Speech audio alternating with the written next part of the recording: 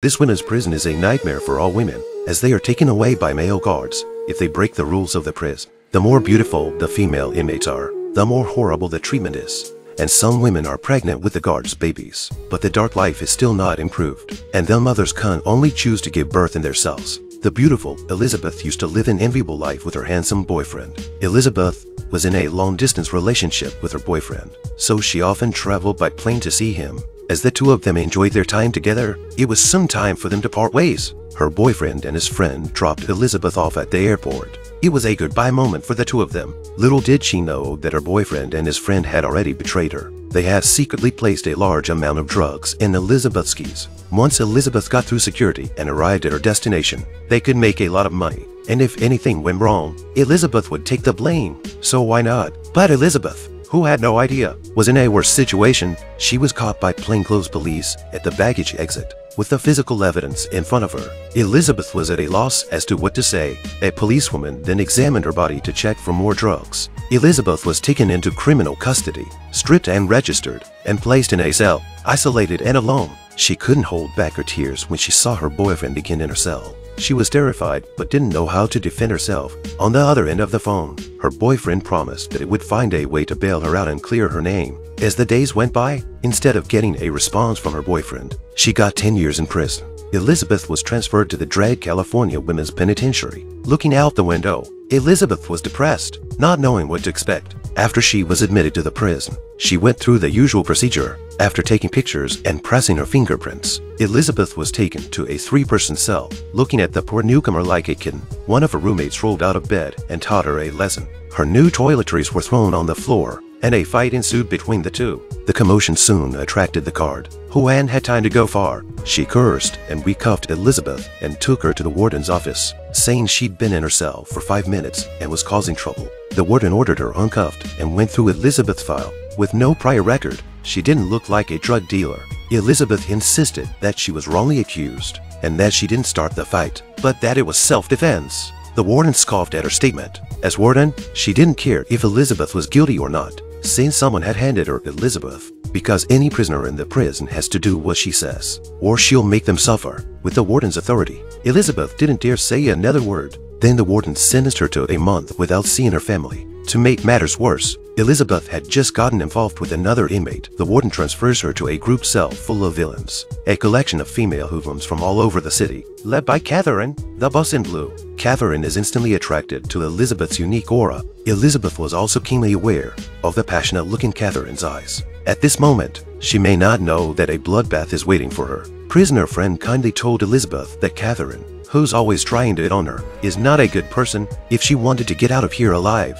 she had to stay away from Catherine. Later, Elizabeth was approached by Catherine again while she was scrubbing the toilet. She offered to use her connections to help Elizabeth get an easier job.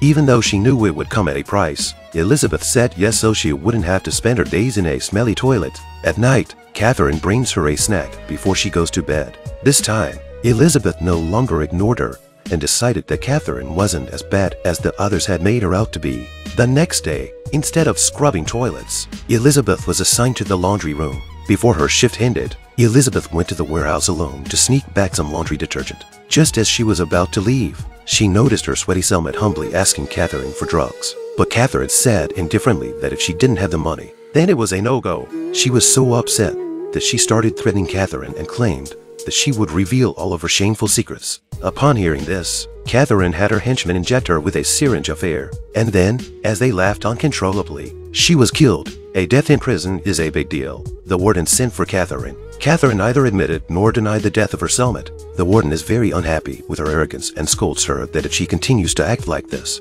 their collaboration in drug trafficking will be exposed sooner or later. On the other hand, Catherine's henchman, Icy, took the opportunity of taking out the garbage and the guard's indulgence to get a big bag of drugs that had been placed in the garbage gun. Icy secretly hid some in her foundation box for personal gain, but the next day it was seized by the warden, who blamed Icy for the murder of the inmate. Catherine still hasn't given up on Elizabeth, but having witnessed the entire murder, she's now afraid of Catherine. She never had the courage to tell the truth to save herself. As a month passed, Elizabeth finally met her boyfriend, whom she had longed for. She says she doesn't want to spend another day in this prison and hopes he'll clear her name and get her out of here. but her boyfriend told her to accept the situation. In a flash, Elizabeth realized what was going on and got up and left in disappointment. For the rest of her life, Elizabeth stopped feeling sorry for herself. She began to use her time off to work on her physical fitness and threatened the warden with the truth about the death of the female inmate. Not one to give in easily, the warden secretly authorized two hoodlums to kill Elizabeth. But apparently, they underestimated how Elizabeth had changed from the inside out.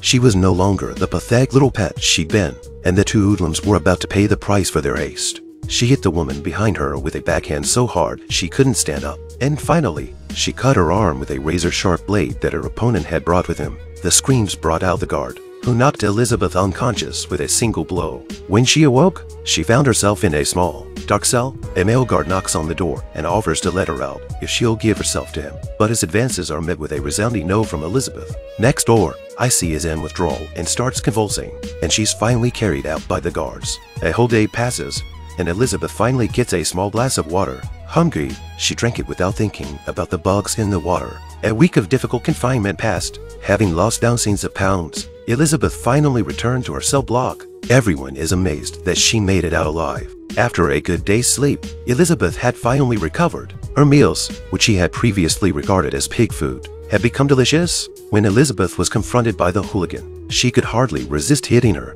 Her new cellmate, Spider, stops her, saying that she doesn't need to put herself in harm's way again, just for the sake of a quick fight. But instead of letting Elizabeth get away with it, the hoodlum went for the jugular.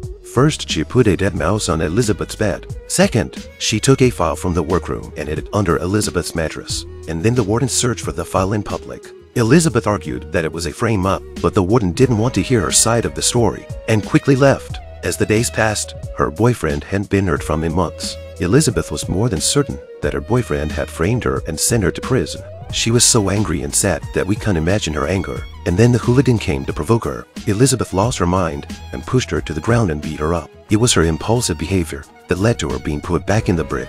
Once again, a tidal wave of fear washed over her. Not only that, the male guards came in and beat her up. Elizabeth's physical and mental torture was followed by something even more horrific.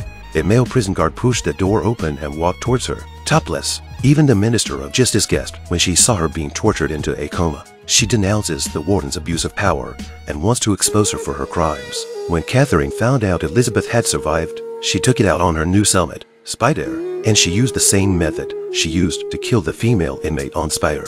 Luckily, the guards found her in time and took her to the infirmary. Under the doctor's active care, Elizabeth gradually woke up. When she saw the dying spider, she burst into tears and her heart burned with vengeance. On this day, Elizabeth broke the ruler of the comb with her bare hands and made it into a perfect murder weapon. Blood dripped from her hands, but she was oblivious to the pain.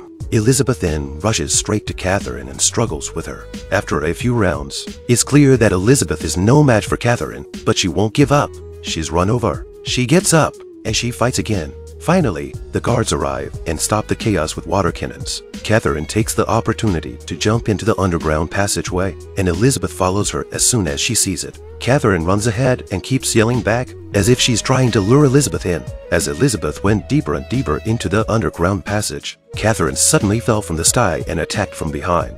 Since Catherine is a seasoned fighter, Elizabeth is no match for her. As Elizabeth falls to the ground, Catherine's steps become confused in her excitement. Just as she was getting carried away, she suddenly slipped and fell backwards. She hits the power grid and is quickly electrocuted. Catherine died suddenly. The superiors took the prison riot very seriously and sent someone down to check on her. Elizabeth found a chance to tell them about Catherine's criminal activities with the warden. In the end, the warden was removed from his post and taken away, and Elizabeth was released from prison with a reduced sentence for her contribution. The villains were finally punished, but the only pity was for the innocent women who died, who would never again see the beautiful sunshine outside the prison.